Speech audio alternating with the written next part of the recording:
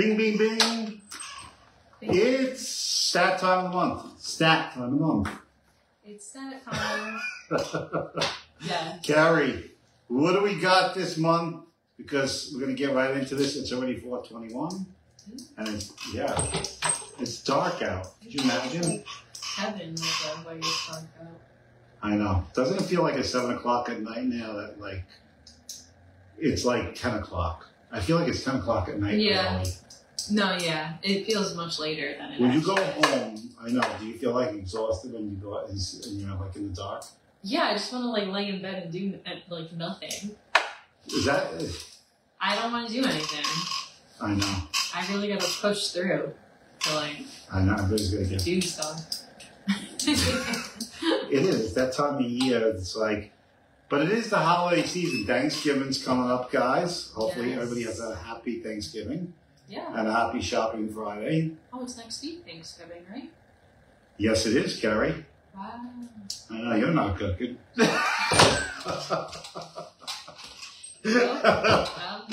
Well, or else you know the day already, like everybody else is supposed to know. So anyway, um, guys, we're going to go over the stats for the month. A um, couple of bits of tidbit news. Um, well, we're going to do more of an official announcement tomorrow. oh, yes. We, at Prodigy Real Estate, have reached our 2,000 subscriber on YouTube, putting us in the top 5%, top 5% of all YouTube channels. And if you haven't subscribed to our YouTube channel, you need to go do that. Yes, it's growing exponentially. We'll be doing more stuff in the coming year, so we hope you guys are part of that. Um, so, if you're not on our YouTube, um, you know, like a little, now people are starting to join uh, TikTok. Yeah, I see. little, little- it's like a little, Yeah. little delayed. Um, so I hope everyone um, subscribes. So go to our, again our YouTube channel is reached a critical benchmark. We're at we're over twenty. We're, we're getting close to twenty five thousand views a month on YouTube. That's insane. Twenty five thousand That is insane. a month viewing. So um, and that's a lot of a lot of hard work. Um, hopefully we can get that. At, I think like we need to get to that like on TikTok. So guys, if you don't like Yeah. and subscribe, like we're gonna like call you out on you. So anyway, um, but what we're here today is to discuss is the stats for the month of October because everything comes out right a month. We can't do November's month because Yeah. November's not over, Yeah, exactly. so we have to go. Have to do go do the stats for this month. Um, so let's get into some of the numbers. I know that you had spent arduous amount of hours putting this together. Yeah, It's just a lot you could tell that I could just see the sweat rolling off your head yeah. just to get those numbers in. But let's get into it and um, we can get started. Oh goodness, you know it's like to see myself on, on like one of the things we always have, and one day we're gonna get like the screen that goes above. Like Yeah. that you could actually see like all the streams at once. That would be pretty cool. I we, we definitely. I mean, need we may not we may lose Carrie for like an hour as she's like just staring at the screen. I know. it's Yeah. bad enough it's like this. It's like so far enough where she can't read the uh, read, read, read the comment section. Um, oh, there goes my my TikTok. But um, anyway, let's get I'll into just it. Jump right into it. Um, so I'm going to start off with the average days on the market. Yes. That um, is at a 13 thirteen percent decrease year over year, but it is up um, about ten percent month over month. So it's 67 days on the market. 67 days. So, what's the question? you gave me the numbers, you didn't answer the question. Alright. How, how, that, um, Do you want me to fill that in for you? Yeah. I guess I'm gonna have to come and do the same here. Are- the numbers are correct, yes. Yeah.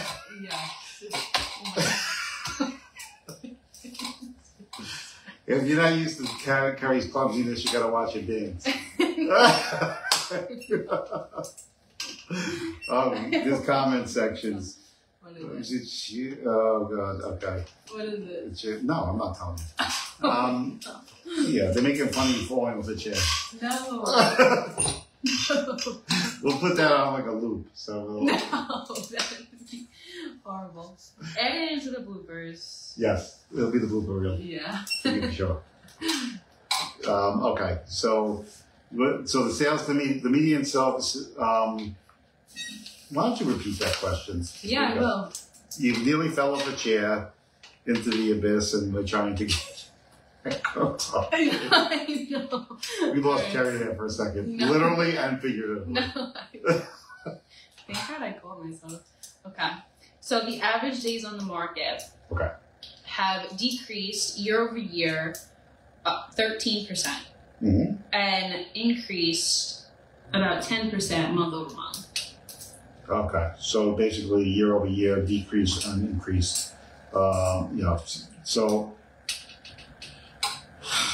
this is this is a we've talked about this before, and if you catch all the lives, um, we basically have said that the market is in a state of uh, of interest rate sensitivity.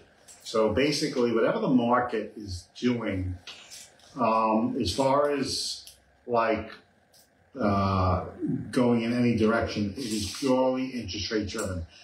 So one of the things was the Fed did cut rates um, three quarters, three quarters of a point. There's someone trying to distract us for sure. Three quarters of a point over the last two months. I can't see you can't see.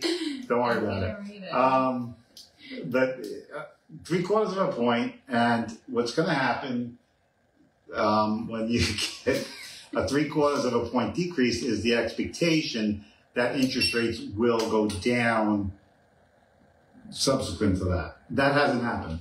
Um, there's a multitude of reasons why. Did start to head down this week. Um, and hopefully over the next course of the next few weeks, they continuously move down because the only thing that's making housing affordable to the degree that you can make it is interest rates. And for everybody out there, the market is, is definitely one of the things that we do check. And like, there's a lot of things you could check to see like market activity. I did do a deep dive this month into Google search trends. So. Google search trends is a really good example. So I like to like look at trends to see like what people are searching for. they put that out every now and again. And one of the things that came up was, um, and you can see the Google search trends associated with mark with the interest rate decreases.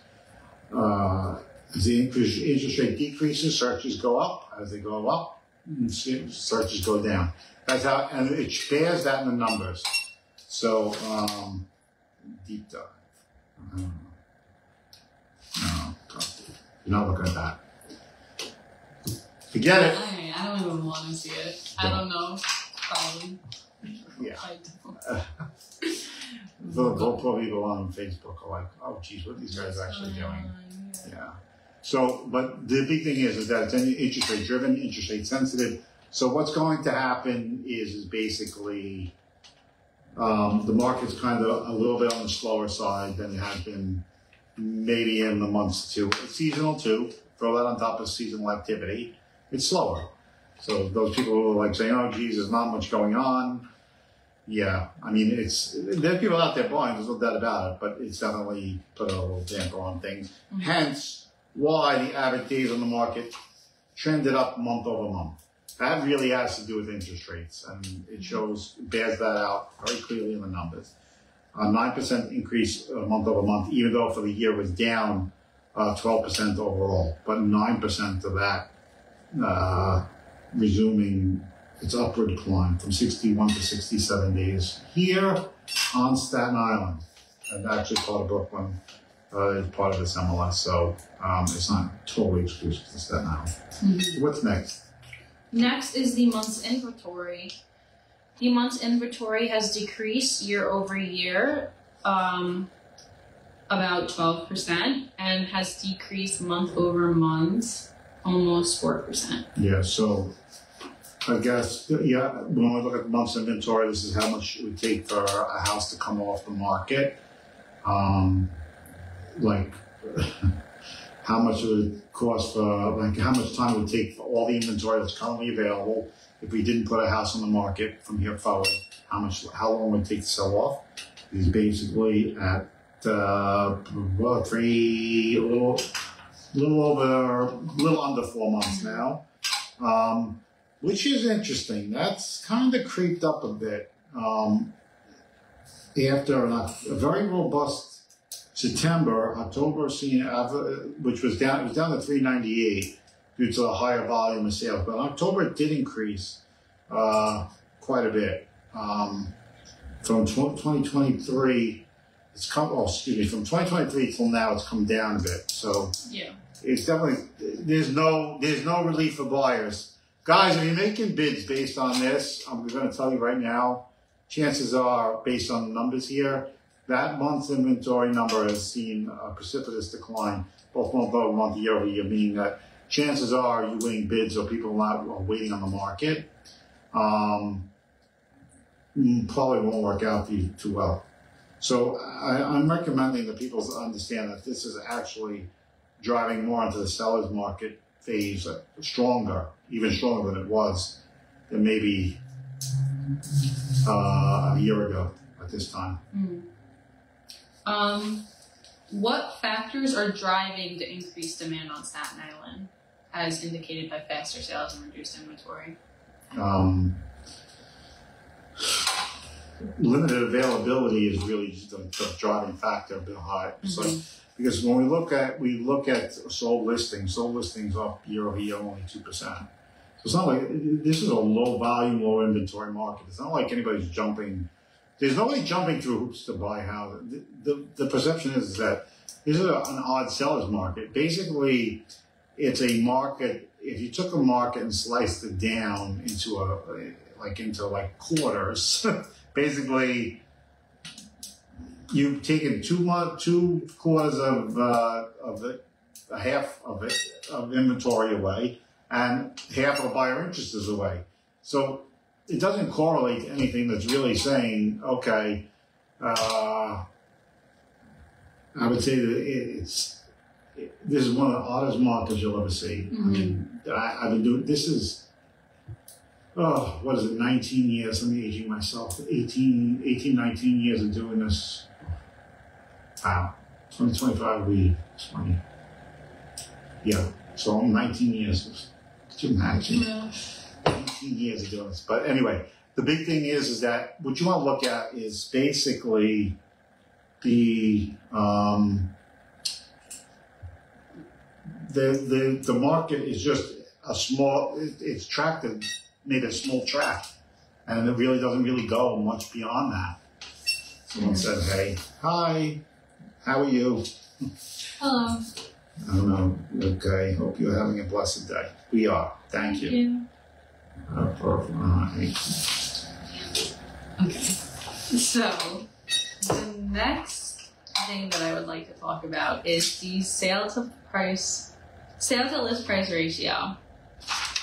So, the sale to list price ratio um, has actually changed 0.21 both year over year, month over month.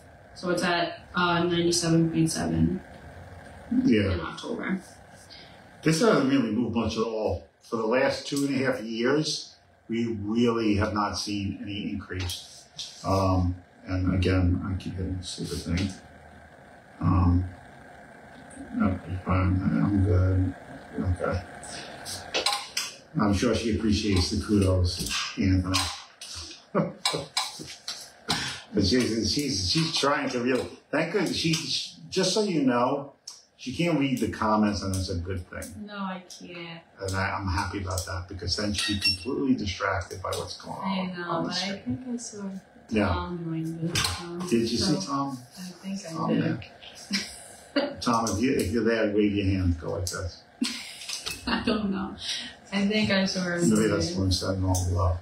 Um, so anyway, uh, But um, so I did have a question about this. yes. So, given the consistent sale to list price ratio, what pricing strategies are most successful in this competitive market? Um, you know, I've kind of looked to what, where we are with like pending, the pending average and where the pending average listing is selling at and where people are actually putting their house there. Mhm. The new average listing price is nine hundred and twelve thousand dollars. So, and it's consistently, it's out, it's overperform. This is what people are asking: is overperforming the market Mhm. by eight and a half percent year over year. It's horrible. Yeah. Year over year and five percent month over month. So basically, people are overpricing their house by about eight percent at this point. Wow. So basically, that's how far, like, people are really seriously putting their houses way over where they're likely to sell. The strategy is is that, contrary to belief that this is an absolute great sellers market, the buyers that are out there are so limited that you're not going to fool anybody, and people are willing to wait. I think people think that. Um, it's not necessarily you can't be competitively priced on the higher end of things, but you have to be within a range. You really don't want to exceed what I consider to be like a four percent range. And if you're going past four percent of where it's likely to sell, now you may be able to achieve that through great marketing, of course. Um, Yeah. uh, but the big thing is, can you, um, like, can you still achieve the number you'd like to get with some moderation? So you have to really think of it in terms of you have to be competitive to the degree you don't want to be sitting there for too long at a uncompetitive price just because you think that well I'm the only house on the block. I'm not saying that at some point in the future um, your house uh, won't achieve some benchmark number. It's just not likely to happen in any short short term. Mm-hmm. Like you know, I mean, from 2000, we were just talking before. I was doing the stats. I remember t- saying to you, I did the stats back in 2013, 2012. The average sale price on Staten Island was at three hundred and sixty thousand dollars. So it's up to what three eighty? Yeah. So the average sale price is Mhm. seven hundred eighty thousand. October. That's yeah, a high. seven That's, hundred. This will that's a record breaker. average sale. Yeah, that's um. That's the highest ever. So we broke the record on Staten Island for uh, sold average sale price, seven eighty. Yeah. But I'm sure you, you're gonna ask more about that. I jump ahead. Yeah. So that, I'm out to control. So yeah, any uh, the sold average sale has increased um, year over year, seven point thirty percent, and month over month, uh, three point fifty percent. So Yeah, three and a half. it is the highest.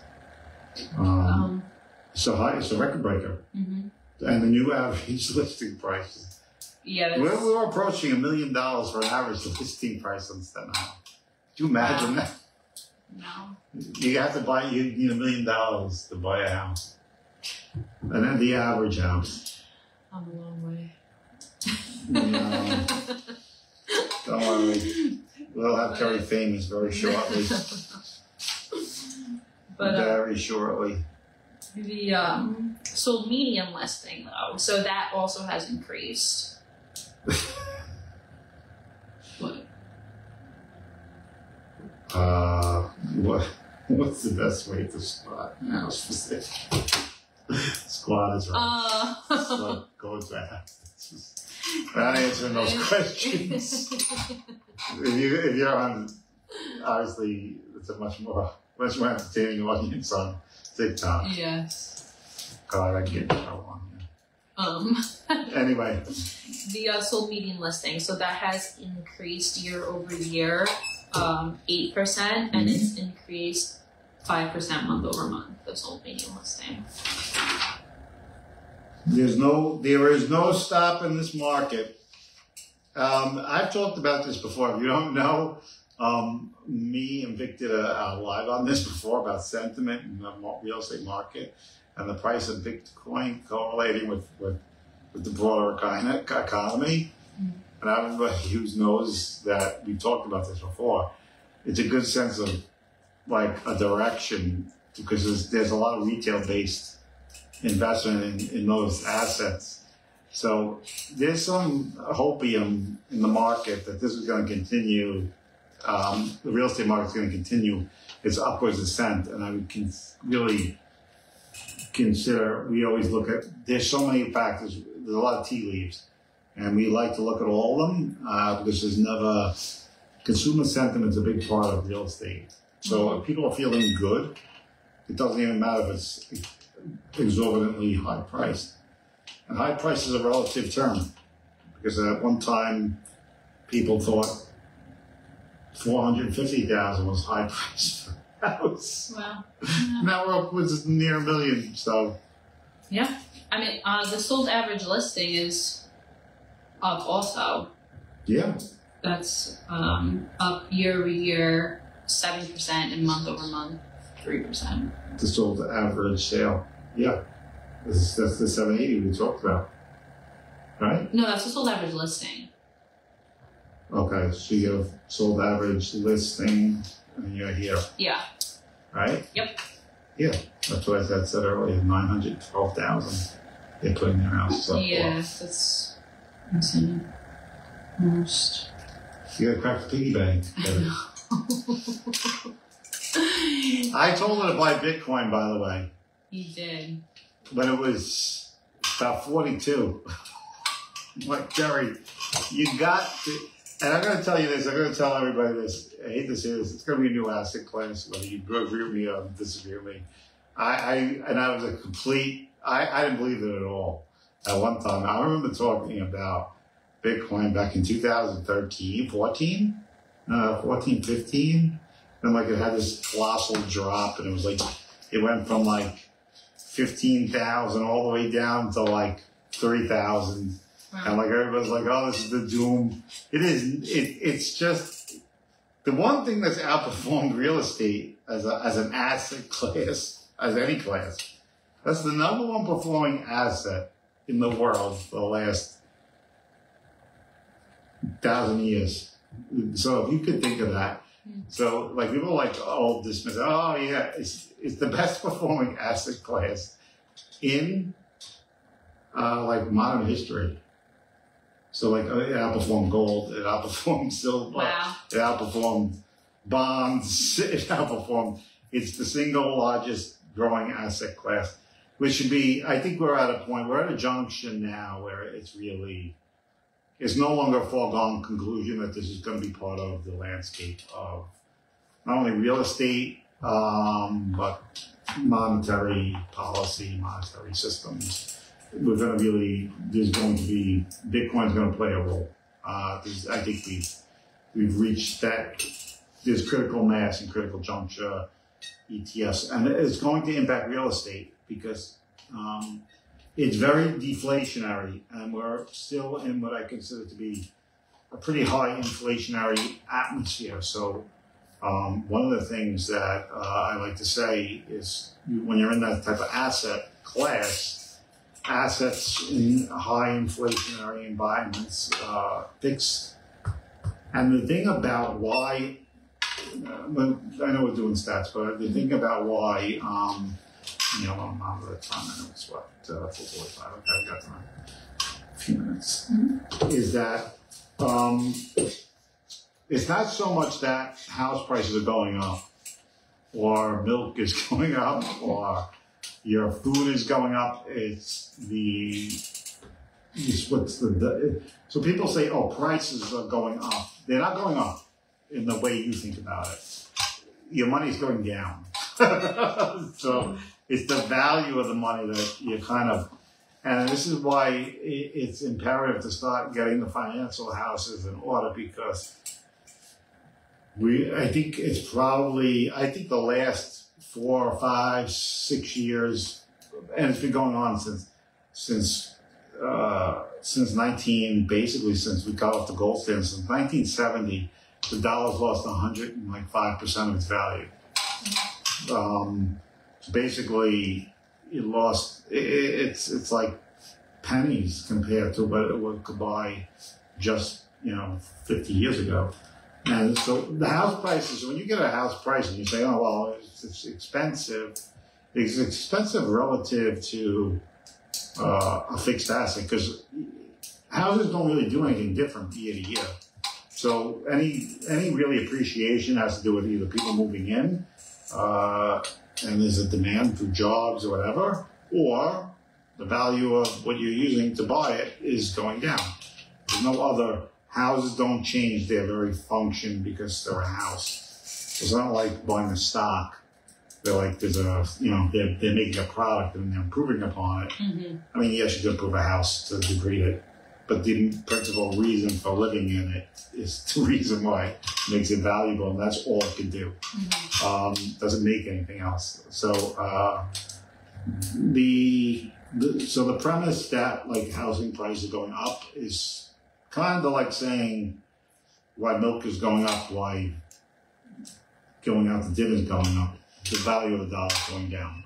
Hence why there's this big Bitcoin run and all this stuff. Because at the end of the day, it's it's a fixed, uh, very, very little. There is a little bit of inflation baked in, um, but uh, it seems to be that sovereign governments now are starting to put their they start to hedge their bets on it. So I do think that um, eh, you know uh, salutations. Um, yes, okay.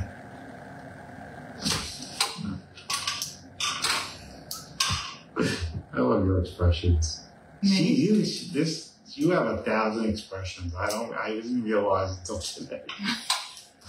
Never read about what Car- Carrie will tell you what she's thinking through her expressions, not through her mouth. I don't have a poker face. she doesn't. She just. You'll know what she's thinking. If you ask her a question, she doesn't answer, and she makes a face. She doesn't really need to say much more. Yes. That's something new I've learned over the time of being here, which I think we had said well. Jeez. Yeah. Over to you. Oh. God, my my. I was saying how our first lives, my beard was a little bit more pronounced Mhm. in color. How does Bitcoin? Oh, okay. Yeah, let's see. That's a. Let's see. We got Bitcoin is going to 100k. So yeah, I, I think I think it's going to go beyond that. Um, I mean, the cycle is obviously bouncing back and forth, but it's an asset class. It's like owning a piece of real estate. To be honest with you, I think the same premise exists because it's and people people will argue about what this is. Mm-hmm. So I, I don't want to make this a Bitcoin movie here, but or a show about Bitcoin. But it's a fixed asset, just like a house, um, and it's deflationary. And at the end of the day, what makes the the, the thing unique about what's going on? And it was going to impact real estate because I do believe that if you're going to save for a house, that someone like your age, for instance, in order to keep up with your savings because the savings rate isn't keeping up with inflation. So you're losing money, where I don't think that's the case with Bitcoin. Um, and the idea is when you put the money in the bank, is like, okay, I have money. Mm-hmm. And people are used to numbers in, in everything. So they get, they get over, everybody's sensitive to, well, oh, it's $10,000. But $10,000 is all relative what else, what its purchasing power is and what it looks like. So, it, like, and people, we're kind of trained this way. The brain is trained this way. And it's really not the case. We, we, we- we get lost on the idea that number is really the, yes, I mean, it, it adds the, the, the a sticker to it that makes, you know, something appear a certain way, but it's actually the value is what's backing each of these, of the item. Um, how long it took to produce. And the biggest thing is, is that someone, uh, and I'm going to tell you, I, I really believe this. The thing about Bitcoin that makes it different than buying gold, which people are like, oh, you're out buy gold, is that it's it's shardable. Like the thing about it is not like you buy a whole Bitcoin. Mm-hmm. You buy it like you could buy fifteen dollars worth. It's it's it's fractional. So and the accessibility to what I call a small investor or the small, the small guy who says, okay, I don't want to put more than, fif- not I have to buy uh, like a, a, um, a shard of, like, it's hard to, to shard down a piece of gold. Uh, so you either buy gold at 2000 something, something dollars on a note or you don't buy it. Where Bitcoin is more fl- flexible in terms of what the value is. That may change, but it keeps going up.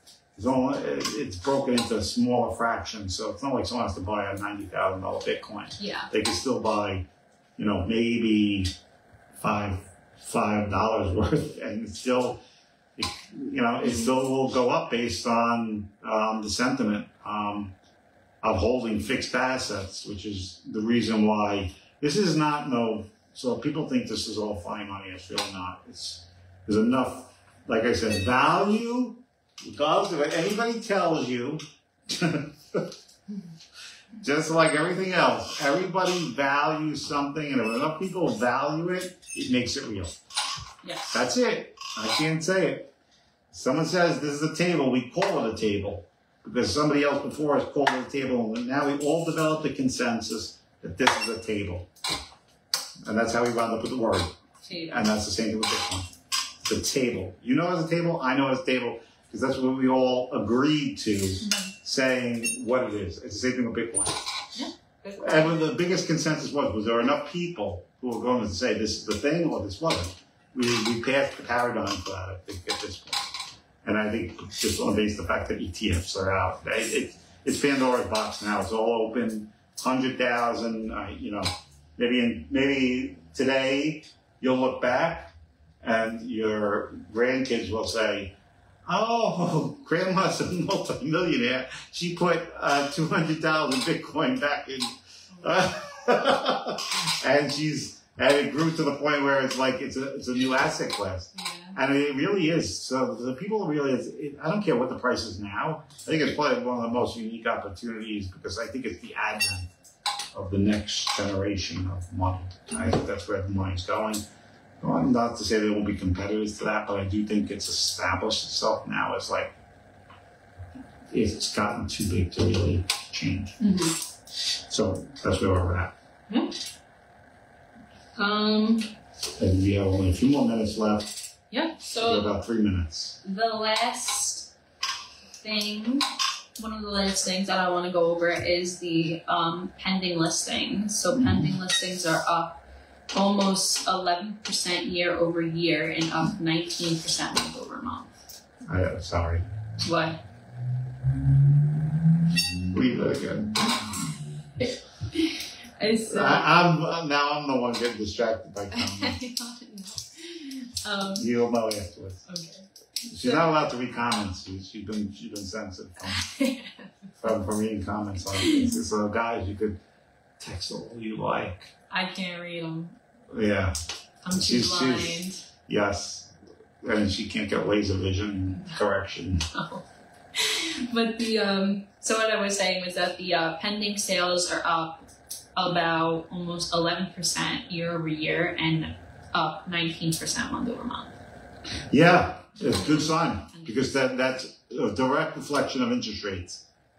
That will go down next month, guaranteed. Guaranteed next month it's going to be down because interest rates peaked above like close to seven and they were almost like six point three five. And to all people out there, it's like I've said this before. They try to time the market. Oh well, interest rates come down. Let's try to put up the house. By the time you put up the house, get it up for ready for sale. Guess what? Usually, that's how volatile the interest rate swings are. So if you miss it, you miss it. If you don't, you cannot time this out. It's it's proven futile. And it's like so like a lot of people now will say, oh well interest rates are high, I won't put the market, put the house in the market. It takes a little while just to get the house in the market. And usually by the time people put the house on the market, sometimes those rates go start plummeting and all of a sudden you get a whole bunch of people ready to buy very quickly. And then the people was like, oh, let's wait till rate, rates bottom out. They put the house on the market and the rates have already come down to a bottom. And then the, the three weeks following, the rates have been going up steadily. And I'm telling you right now that, that the difference between the numbers that we're seeing, and we've repeated this multiple times, is that the whole entire market's rate sensitive. So you could you could swing your your own value of your house four or five percent week to week. Week to week, this changes. That's how volatile the the the how Sorry. My neck. I needed to be She's cracked. gonna- I'm gonna crack your neck right after this. I'm sorry. Is a song about you. You can get when when you lose stuff. I, that's going on a blooper reel. I, I, I'm definitely getting you cracking back on my camera. I don't even realize. I didn't realize I do. That's how. That's the level of comfort she's gotten. Yeah, And- familiarity is good bread contempt No, for sure. I have her on a first video and she was like, she would, she didn't even move. now she's doing three thousand things. It's like. no, I'm sorry. I, I didn't know I was doing that. I have to. You'll just have to get like a, a cane. Okay. Anyway, that's what we have for tonight, guys. I hope you found this interesting. Like I said, 2,000 followers on 2,000 subscribers. That's more than just followers. Subscribers on YouTube is one of the hardest achievements to obtain. We got it, guys. We hit a benchmark. Thanks to the people Yes. subscribe. Please go out, subscribe. Please subscribe. and you'll get some of the best, um, all entertaining videos of places all over New Jersey and Staten Island. You get a whole entire background, the places you never even knew existed. So it's a good place to explore. So that's what we have for tonight, guys, and we'll see you probably next week with New Jersey and the pre-Thanksgiving Day uh, Jersey edition, Yes. uh, which will be on Wednesday next week. Yeah, it'd be like, you know, it'd be the closing before Turkey Day. yes. Anyway, um, have a great night, everyone, and we'll see you Friday. Yes. Friday. Yes. Don't worry. Yep. She's going to have her neck straightened out by then, I guarantee you. Yes. All right, bye. Good night, guys.